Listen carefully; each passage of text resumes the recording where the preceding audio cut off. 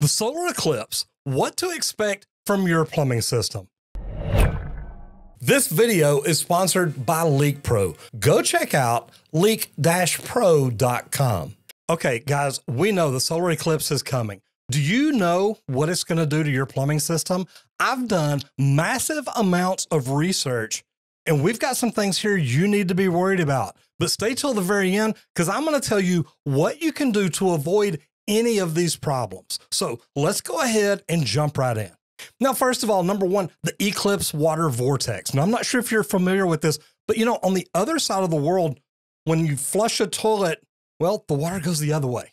Okay. So it does, it goes the opposite direction. Now, we're going to experience this just during the peak of the solar eclipse. When the sun is completely gone, when you can't see anything but the little ring around it, you need to know run in, flush your toilet, see what it does. Now, this is not going to be a problem. It's not going to damage your system or anything, but you want to make sure you do this right in the middle of the solar eclipse because if you don't, well, then your toilet may get stuck going the wrong way. And the way our plumbing systems are designed, that's not going to work right.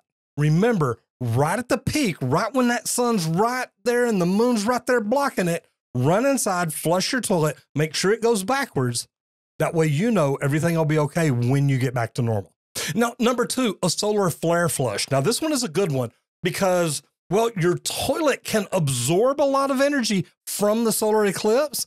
And then what happens is when you flush it, you're going to get a ton of power, a ton of force. You're going to get a flush so strong that skip it up and down, and you may have to call a plumber out to reset it. So the solar flare flush is one you really do need to be careful of. If it absorbs that solar energy, man, it, could be really catastrophic problems for your plumbing system. Now, if you happen to be in the shower, be very careful because the third problem is the eclipse powered shower. Now, eclipse powered showers are really not a bad thing. You're just going to get a lot more pressure. And if you like a really, really hot shower, it's liable to feel a little bit hotter. So the eclipse powered shower is one thing you need to be aware of, but only if you're in the shower at that time. You're probably safe if you shower up to about 30 minutes afterwards. Anything over than that, you'll be fine. But within the center of the total eclipse and 30 minutes, be very careful because you're liable to get more pressure out of your shower than you've ever experienced. Now, number four, and this is one to be very, very careful of. Moonlight Plumbing Services. You've heard of Midnight Plumbing Services. You know, the guys that come out only around midnight and they, they do shady work. They do it when they're not at their normal jobs where they're really getting paid to do plumbing. Moonlight Plumbing Services are what happen only during a total eclipse. And you need to be very, very careful of these companies because you're not going to see them again till August 12th, 2045. So if you have a problem, if you need any warranty work done, if you need anything, well, you're going to be waiting a long, long time. Now, number five is eclipse sinkholes. Now, these are ones that if you have a septic system, you need to be worried about because something about the solar eclipse, the, the total eclipse, causes the sinkholes near septic systems. Now, if you've got a septic system and you walk outside and there's a sinkhole there and, well, it's full of septic junk, be very, very careful. Wait till the next day to call a septic company. Now, plumbers normally don't fix this, but I know about this, so I really do. I want to make you aware of it. The solar eclipse sinkholes are something, if you've got a septic system, be very aware of it. And it really doesn't matter if it's aerobic or non aerobic, you got to be careful of this either way. Okay, now those are the problems you need to worry about. But here's what I'm going to tell you now. I'm going to tell you how to eclipsify your plumbing. Now, this is something that really it's not a bad thing. It's something that if you do it before the eclipse, you won't have any problems at all. Okay, first of all, you have to line your plumbing system up, the pipes up, with the exact path of the total eclipse. So get your degree finder, get online, because it could be different in different parts of the United States. But Get your plumbing pipes in line with the eclipse. If you don't do this, you could have problems. But if you'll align your plumbing system with the total eclipse, you won't have any problems. This is something that, man, it works. It's proven. We've actually done it in the past. So this is something that if you'll do it, this can solve you a lot of problems. Now, the other one is charge your water heater with solar energy. Okay, a lot of water heaters tend to go out during the solar eclipse. And it's only during a full eclipse, which we are going to experience April the 8th.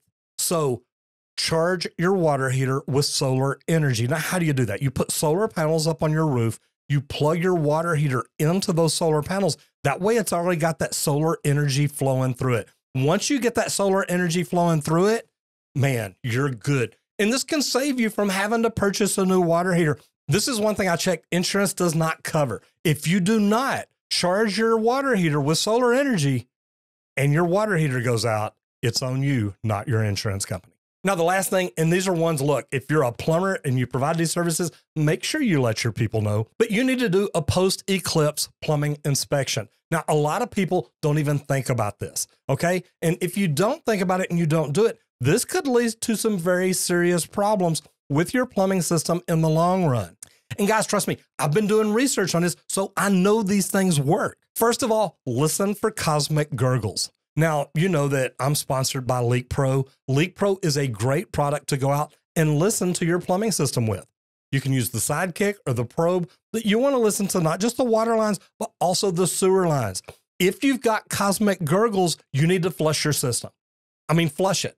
Doesn't matter if it's the water system or the sewer system. If you've got cosmic gurgles, flush it. If it's the sewer system, you may need a camera inspection.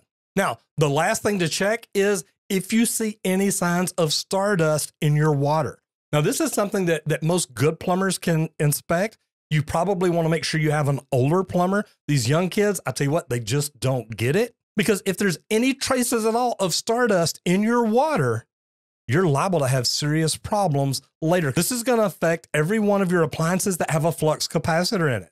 So, your refrigerator, your washer, your dryer, even though it's not hooked up to the water, they're relatively close. It could jump over. And guess what? Your dishwasher. Holy oh. your refrigerator, your washer and dryer, and your dishwasher. Guys, be careful. Cosmic dust, even though it looks beautiful, do not play with it. Do not get it on you. If you do, rinse it with cool water, not hot. Okay. It loves hot water, it'll spread. Rinse it with cool water, and you'll take care of it. So, guys, there's a lot of things going on around this solar eclipse. This is a full total eclipse here in the north central Texas area. Be careful and don't let people scam you and make you believe things that really aren't true. Now, we all know that none of these things are true. What? Be careful, have fun, protect your eyes, but don't worry about your plumbing system. The only way this is going to affect our plumbing system here in North Texas is we've got so many people coming to town it's going to put a taxation on our sewer system and our water system, but we can handle it. I hope y'all enjoyed this. And if you did, please subscribe and ring the bell so you don't miss out on anything.